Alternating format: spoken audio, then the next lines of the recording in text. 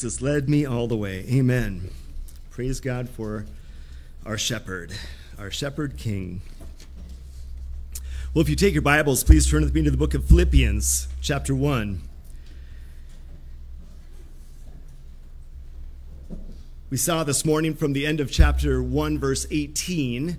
Well, first of all, we understand that the Apostle Paul had past remembrances of the Philippians, and they were all joy all joy. He looked back on all the ministry of those 10 years with the Philippians, and all he could say is, I all in all of my remembrances, I make a request of you at Thanksgiving with all joy. So there's nothing in the past that would steal his joy, even his present circumstances, that he's imprisoned in Rome, chained to guards.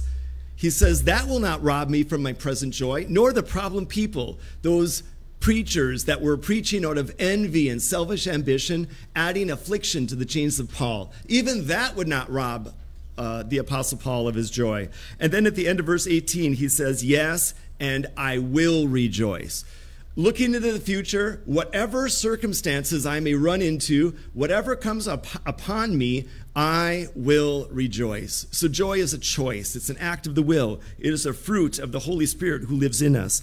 We saw that Paul chose joy, he also chose confidence. He said, For I know that this will turn out for my deliverance. Verse 19. He had confidence in the Lord that he would be delivered. Either he would be set free and delivered from prison that way, or his head will come off and he'll go to be with Jesus and he's still delivered from prison. The deliverance is still there. So he's got certainty and confidence in the future. So we want to have joy in our future, confidence in our future. Thirdly, hope. The Apostle Paul's hope was that in nothing he would be ashamed, but with all boldness, with freedom of speech, Christ would be magnified in his body. And that was his hope. Not that he, he would have ease of suffering, not that he would get out of prison and maybe spend the retirement years with his feet up on, the, on, on re- relaxation mode, but his hope was that he would be a faithful witness for Christ. And then finally, he had life. He knew that for him to live is Christ and to die is gain. And we covered all of that this morning. Now, tonight, we continue on in verse 22. Let me read the text and then I'll pray. Verse 22 of Philippians 1. The Word of God says, But if I live on in the flesh, this will mean fruit from my labor. Yet what I shall choose, I cannot tell. For I am hard pressed between the two, having a desire to depart and be with Christ, which is far better. Nevertheless, to remain in the flesh is more needful for you. And being confident of this, I know that I shall remain and continue with you all for your progress and joy of faith, that your rejoicing for me may be more abundant in Jesus Christ by my coming to you again. Let's pray. Father, we bow before you and our hearts are, are full. They're, they've been saturated with truth from godly hymns, from prayers and praises cast before you. And we know, Father, that you are good in all that you do. We can be joyful in your character and in your promises. We can be confident in your plan for our lives that ultimately those who trust in Jesus have everlasting life. And we will be with you face to face. Thank you, Father, for the hope that is before us, this earnest expectation that with all boldness we will be faithful in our witness to Christ. And then, Father, for us, living is all about Christ. He is the preeminent one, He is the one that we worship and serve. Everything else is lost, but to live is Christ. And then to die and to leave this earthly path is gain. And so, thank you, Father, for these words of truth recorded by the Holy Spirit for us today. May you have your way working through our hearts and our minds to bring about even more devotion and loyalty and love for Christ that would bring about good works that Christ may be glorified. In Jesus' name, amen. For me to live is Christ, to die is gain. Not everyone can say that. Um, I, I, know uh, years ago, I don't know if you ever heard of the Weta Brothers Band, but there was the Weeder Brothers band. It was an accordion and a piano and a guitar and drums. And and we began booking out every Friday and Saturday night. My mom knows most of our um, practicing was in our basement in the house. Loud music, clashing cymbals and drums, and accordion of all things. And they put up with it. But we would go out every Friday and Saturday night. But after I got saved, oh, I, I wanted nothing more to do with that. And I remember this one scene right before I finally ended it all and um, with with the band, and it was down at the VFW Post 137 in West End and it was one of those 9 p.m. to 1 a.m. things. And back in those days, you could smoke inside the building, and there was a heavy haze of smoke. I was a new believer, a heavy haze of smoke, and there was um, dancing and a lot of drinking into drunken stupors and gambling with pull tabs and all of this kind of stuff. And I just remember that uh, we finished uh, our, our final our set around midnight or whatever, and a man who was completely drunk had probably spent his last dollars with pull tabs, getting nothing in return, and he goes, "There ain't nothing better than this." He said that. He's like, "It doesn't get any better than this." And I thought, really? A darkened bar with smoky haze, spending all of your earnings on foolish pull tabs, and there's nothing better than that? Is there nothing greater in life than that? And the Bible has the answer. There is. There is another world. There is a place where believers will go where we will see Jesus face to face. And for Paul, he described it as gain. Heaven is gain. It's, it's great gain. It is far better. I went through and I, I looked up these famous last words of people. And you'll be familiar with some of these individuals. But I want you to know people's words on their deathbed show you what they think or what they know of the world to come. Here it is Francois Rabelais, a French philosopher. He said these final words Bring down the curtain, the farce is over. He died in 1553. Voltaire, we know Voltaire hated God's word and hated God. He said this on his deathbed I am abandoned by God and man. I shall go to hell. O Christ, O Jesus Christ, were his final words. Thomas Paine, one of our history, one of our country's great writers, in his final words, he said, I would give worlds, if I had them, if the age of reason had never been published. O Lord, help me I am alone to be in hell. Winston Churchill, this great man of, Brit- of, Great Britain, a man whose vision and battle cry was to never give up, on his deathbed, he said, I am convinced that there is no hope. That's what he said. Before dying of a heart attack, a Jewish novelist, Italo Svevo, told a nurse who was trying to administer the last rites, When you haven't prayed all of your life, it's no use at this last moment. Cesare Borgia, he said, When I lived, I provided for everything but death. Oh, I provided for everything but death. Now I must die, but I am wholly unprepared to die. Ed, Edgar Allan Poe, the famous poet, of course, uh, and writer, he said, with his life of lies and drunkenness, he was 40 years old when he died, and he, they found him on a street near death, and he cried out and he said, Lord, help my poor soul. Isn't that tragic? These individuals without Christ, without hope in this world. Now, listen to this. Martin Luther said on his deathbed, Our God is the God from whom cometh salvation. God is the Lord by whom we escape death. Praise God for that. Augustus Toplady, who wrote Rock of Ages, at age 38, as he died, he said this I enjoy heaven already in my soul. My prayers are all converted into praises.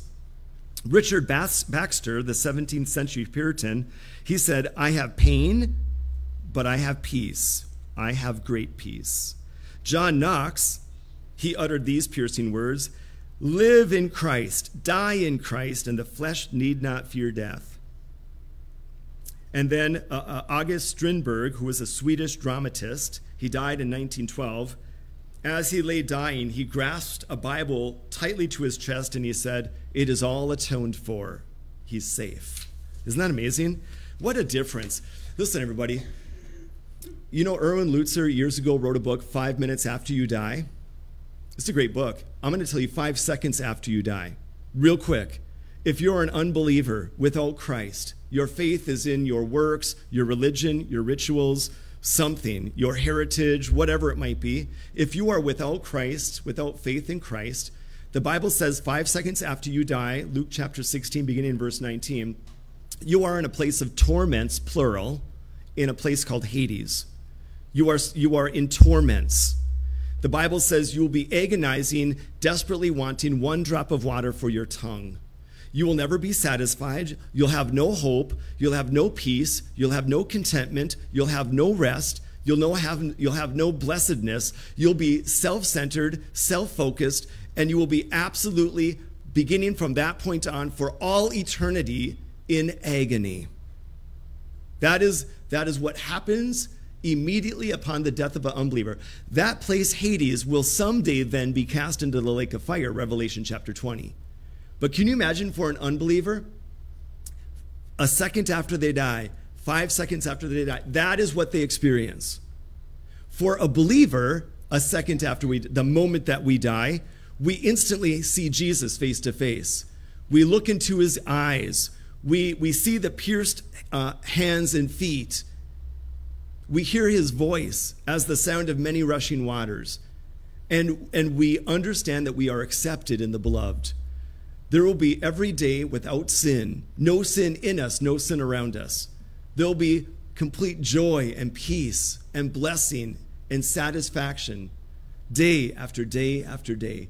There'll be an increase in knowledge of spiritual things and of the Word of God, Jesus being our teacher. Can you imagine what heaven is like? No wonder why Paul said, For me to live is Christ, but to die is gain. Well, here, to continue on from this morning, Paul is wrestling be between these two options living on earth or dying to be with Jesus. Here's how he says it in verse 23. I'm sorry, verse 22. But if I live on in the flesh, that's option A. So my first point is wrestling. Paul is wrestling between two things between living and between dying. Verse 22. But if I live on in the flesh, if that's the option that God selects for him, and Nero, during the court hearing, Nero sets him free and he gets to go out and live more on this earth. Here's what he says If I live on in the flesh, this will mean fruit from my labor. Yet, what I shall choose, I cannot tell. Paul's like, I'm wrestling between two things dying to be with the Lord, which would be an easy way to have perfect peace, or living on earth. And if I do end up living on earth, here's the guarantee it will mean fruit from my labor. He is going to be serving and laboring for the Lord his whole life. And if he gets a few more months or a few more years, they will be devoted to service to Christ. Wouldn't that be the attitude? None of us have yet died. We're still here physically in our bodies. We should have the same attitude. Whatever time God gives me, a year, two years, 10 years, 20 years, some of you younger people, 40 years until the rapture, until the day the Lord returns for the church you, you, make it, you, you make it your desire and your goal to be fruitful in your labor for Christ. Well, what's fruit? Romans chapter 1. Romans chapter 1, verse 13 says this Now I do not want you to be unaware, brethren, that I had planned to come to you, but I was hindered. Then he says this that I might have some fruit among you, as also I do with the Gentiles. Paul says one aspect of fruit from my labor is winning people to Christ, sharing the gospel. Part of the fruit is sharing the gospel so others come to Christ. Paul says if I if if I live on in the flesh, it's going to be, mean fruit from my labor. And one aspect of the fruit is I'm going to share Christ with people so they also can trust him. Isn't that great? In Romans chapter 6, holy living, which is the fruit of the Spirit, is, is called fruit to live holy for Christ. Romans 6:22, having been set free from sin and having become slaves of God, you have fruit to holiness and in the end everlasting life. Paul says one aspect of my fruit is winning people to Christ, another aspect is I'm going to live holy for Christ. H O L Y. I will live a blameless life for my Savior. That's his goal. He says, if God lets me live, there's, it's going to count for something. My life will count. In Romans chapter 15, verse 28, Paul says he's talking about the famine that comes upon Jerusalem and how he's collecting money, financial resources for the Jerusalem believers in, in, uh, that are dying of a famine. Paul says, I am gathering these financial uh, offerings as fruit to be given to those Jewish believers. So Paul says part of my fruit is going to involve giving of my resources for the ministry. I'm going to give my resources so the church can be built and for, and for others to be saved. Finally, in Colossians 1:10, Paul says, I pray that you may walk worthy, fully pleasing him. And then he says, being fruitful in every good work.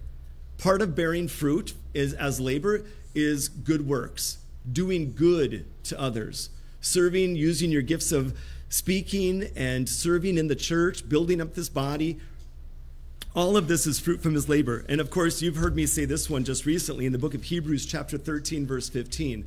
One of the sacrifices that we offer to God as, as a spiritual priesthood is praise from our lips, which Hebrews 13, 15 says is fruit. The fruit, which is the praise from my lips. Paul says, if God lets me live, it's going to mean I labor. Labor is hard work. And out of that, I want to bear fruit winning souls, good works, a holy life, giving financially, and then praising God with my lips. This is what my life is going to look like. And then I think, what does my life look like? Is that, is that kind of fruit just growing and radiating in my life from a result of laboring because for me to live is Christ? I, I hope so. And I want to make it my aim and my goal.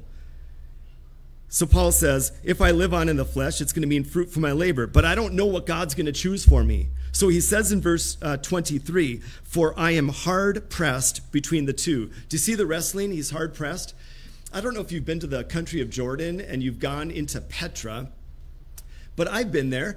And uh, when you go into Jordan, when you go into the city of Petra, you go to the, you're going to the ancient city. There's this wide open walkway a large walkway, and many people can walk side by side. But as you're walking to the ancient city, you know what happens with the two canyon walls? The two canyon walls become, begin to go like this until you finally get to the ancient city of Petra, and you are literally, you can't ride a camel or anything, you literally are, are single file going with one wall here and one wall here to get into the ancient city. It's like you're hard pressed between two. I, I, I want to go and be with heaven or with Jesus in heaven. I want to. That's, that's what I want. And yet, I also want to stay on earth and have fruit from my labor. But I don't know which is going to be, I don't know what the case is going to be, but that's what I'm wrestling with. Now, look at my second point. The second point is here's what Paul wants. Verse 23 I am hard pressed between the two, having a desire. See the word desire? Having a, a passion, a lust he wants one of the two more than the other. You know what he wants. He wants to depart and be with Christ. Paul says, I'll tell you honestly, church, he's telling the Philippians, I'm in, I'm in a wrestling match between staying here with fruit from my labor or going to be with Jesus face to face. I'll be honest, I want to go be with Jesus. I want to see him. He says, I have a desire to depart. So for death, for Paul and every believer, it's a departure. That word depart is analuo, or analio in the Greek, analio, and it means to loose, to loosen or to uh, untie. It was used by three groups of people. Sailors used this word depart. They would be like this our ship is anchored in the port. It is time for us to go to another shore. Lift the anchor. But instead of saying lift the anchor, they'd say analio. It would be lift up the anchor. We're going to another shore. sounds a lot like heaven, doesn't it? Paul says, I want to lift my anchor and I want to head to another shore. I want to, I want to head to the shores of heaven. I want to depart. That's my desire. It was secondly used by soldiers you know, soldiers would have a bivouac uh, in a large camping area and they would sleep in a tent at night. And after they'd been there and the commander says, It is time to move on, he would say, Analio, analio the tents. It would mean to loosen the tent stakes and then have your tent come down upon you. I, I did a little bit of camping when I lived in Israel. I was single at the time, and we went out to the Negev desert and they gave, I received, because I had no tent of my own, I received a pup tent. Do you know why they call it a pup tent? Because that's about all you can fit in it, a little pup. And it, and it was so small, and it had two stakes, one on each end. And at night, I would put it in the desert sand, and um, having sat around the campfire thinking, this is cool, I'm, uh, I'm, I'm uh, like a Bedouin in the deserts, um, then I would crawl in, and then the tent stakes would fall, and it would it would literally analayo. It would lo- loosen up, and it would collapse on me. And by morning, my face is with wet nylon as the dew of the morning desert, uh, it, like every day. And finally, I was like, I am done with tents. I, and isn't that the way Paul felt? He was done with this body that had been beaten with rods, many stripes laid on it. He was stoned and left for dead in Lystra. He had been shipwrecked out in the deep for a day and a half on and on. Imprisonments, um, sleeplessness, fastings, nakedness, he says. He's like, I am ready to pack up this tent and go be with the Lord, where I get my permanent house, a glorified body. Thirdly, this word depart was used by farmers. At the end of a day, they would have their oxen and they would bring their oxen into, back into the barnyard area. And all day the oxen had a yoke on them. And the farmer would say, Analaio, I'm going to loosen the yoke. And he would loosen the yoke and take the yoke off the oxen, and they would be like, About time. Now I can have rest and peace. And so, and so Paul says, I have a desire. I'll tell you what I really want God's will to be. I want God's will to be that I lift up my anchor, I collapse my earthly tent, I get the yoke of, of labor off of me, and I go to be with Jesus. So that's the departure. I have a desire to depart, but listen to this. You know what he doesn't say? He doesn't say, I have a desire to depart and go to the streets of gold. And I want to sit back and I want to eat a big meal and not have any calories. I don't ever want to get tired. I don't want to have a disease. I don't ever want to have to die. I don't want any tears. He doesn't say that's what heaven is. What does he say? I have a desire to depart and be with Christ. Do you see what makes heaven heaven is Christ?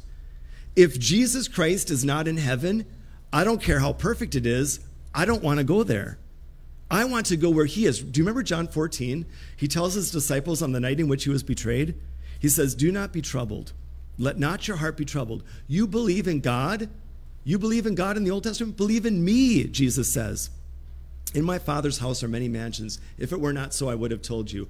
I go to prepare a place for you. And if I go and prepare a place for you, I will come again and receive you unto myself, that where I am, you may be also.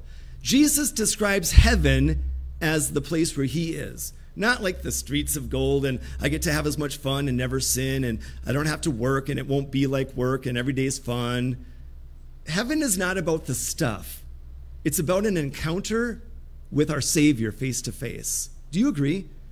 So, Paul's desire is to depart and to be with Christ face to face.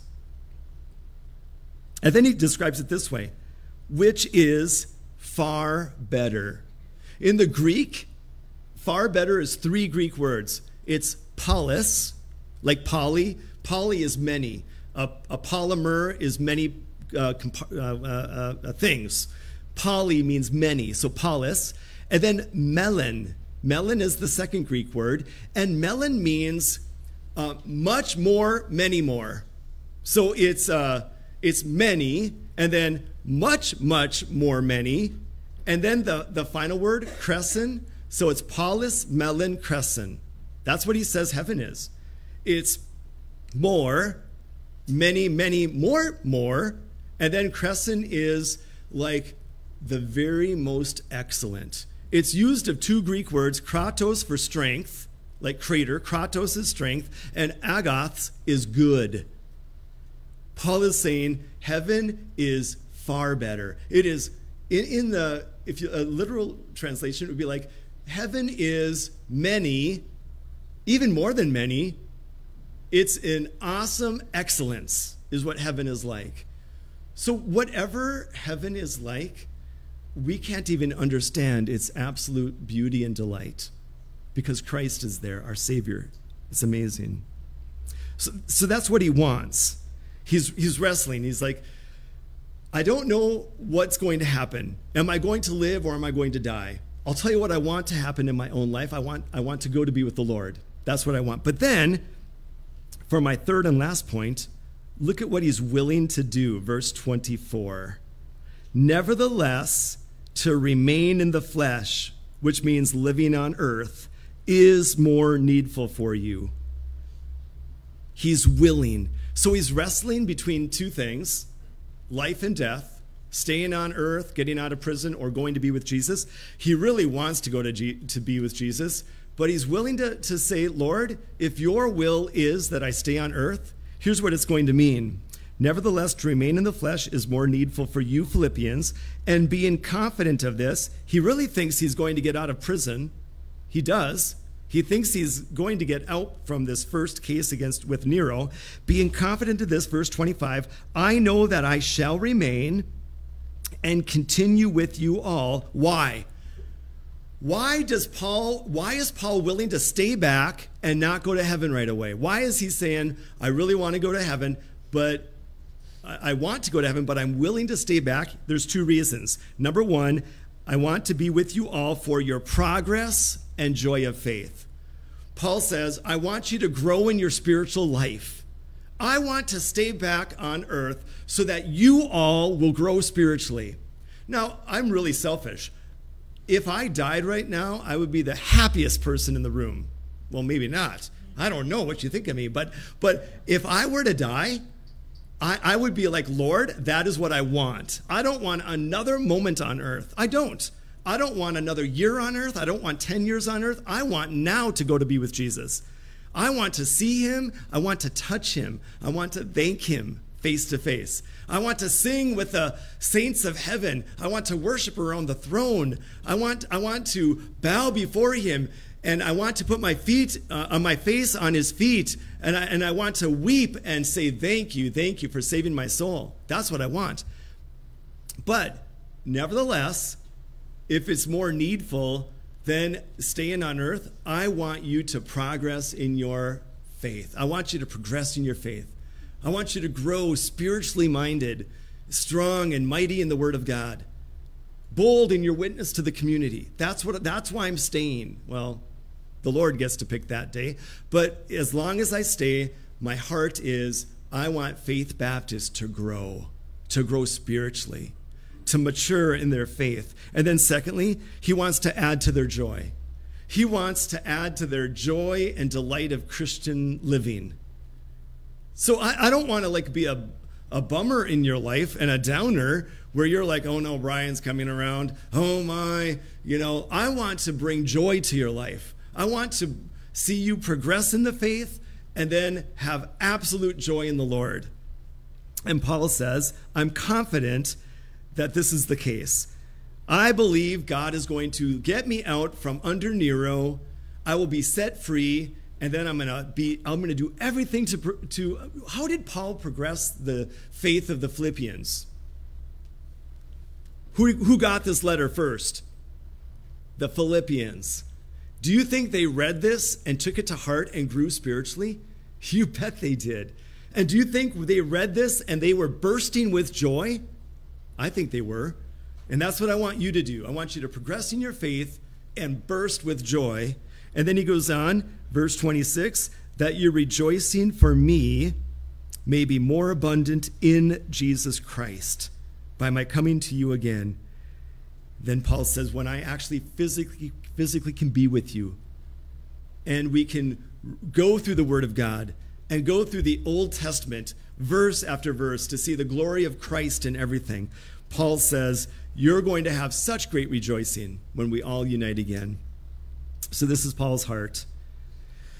So, I would say this as long as you're alive, can you do two things? Number one, can you build up the church? Seriously, Paul says, as long as I'm alive, I want the progress of your faith. I want to build up the church. This is what Paul cared about.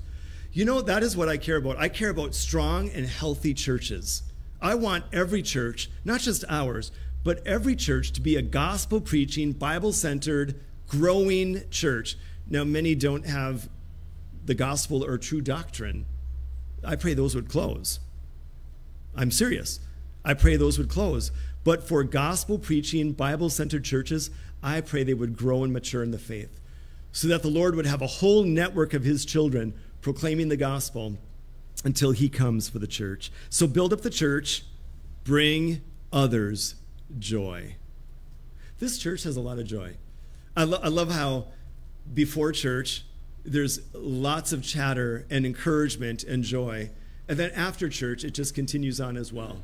It is so, it is so refreshing and so encouraging to me to see the joy of the saints here. But if God lets me live any longer in 2024, uh, he might. He might let me live another year. I don't know. But if he does, my heart is for your progress and for your joy. I'll do anything I can. I will give of myself to that, to that end. Let's pray. Thank you, Father, for these very personal words of the Apostle Paul. He is suffering in a Roman prison, having been incarcerated for two years in Caesarea. He's now on three to four years of imprisonment, and he hasn't lost his joy.